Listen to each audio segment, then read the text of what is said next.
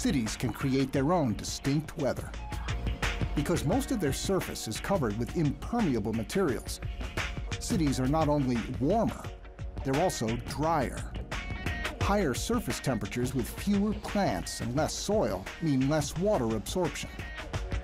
That means urban centers create their own convergence zones, boundaries where approaching weather meets rising temperatures and a drier region. Often that hot, dry air is like a wall, forcing storms to break up around the city. But not always. So this particular storm, as it started coming in, it did not break up. It went on becoming much more intense and violent and as it got the convergence and the heating from the surface, it created a system which caused a tornado over the region.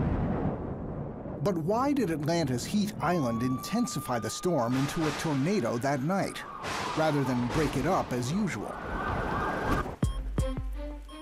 To answer this, scientists first need to understand more about how tornadoes form.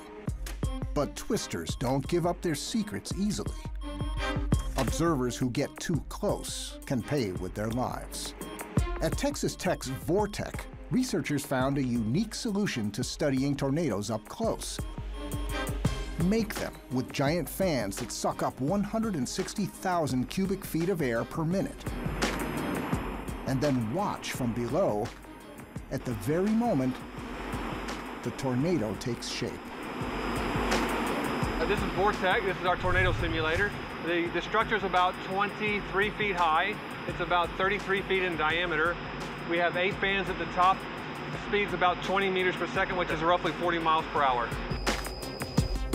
The tornado simulator provides a, a representation of the tornado structure uh, near the surface especially, or where we really care about it, because that's where it's impacting men's uh, built environment.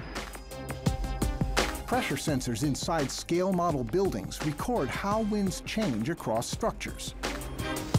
The VorTECH can simulate over one-third the speed of an EF2 tornado, like the one that hit Atlanta. While this giant machine helps scientists study vortex formation up close, it can't simulate a tornado's initiating conditions from a thunderstorm. There are a lot of theories out there for uh, what causes tornadoes to form. Uh, one that we're testing out is uh, whether temperature changes can contribute to the spin of the tornado. We've all experienced uh, this principle if it's really cold outside, for instance, and, and you're in your nice toasty house, you go to the window and you open up the window, the cold air rushes in, right? Uh, the problem is, is that we don't have a good feel for what storms will and what storms will not produce the tornadoes. But in Atlanta, one factor may have been the key to transforming a violent thunderstorm into a deadly tornado. Sunset. An urban heat island is more powerful in the early evening. That's because at sunset, cities radiate the heat they trap during the day. Evening city heat rises faster than in the cooler surrounding rural area. So cities at night can be a storm energizer, pushing cycling storm winds up quickly, creating a perfect storm.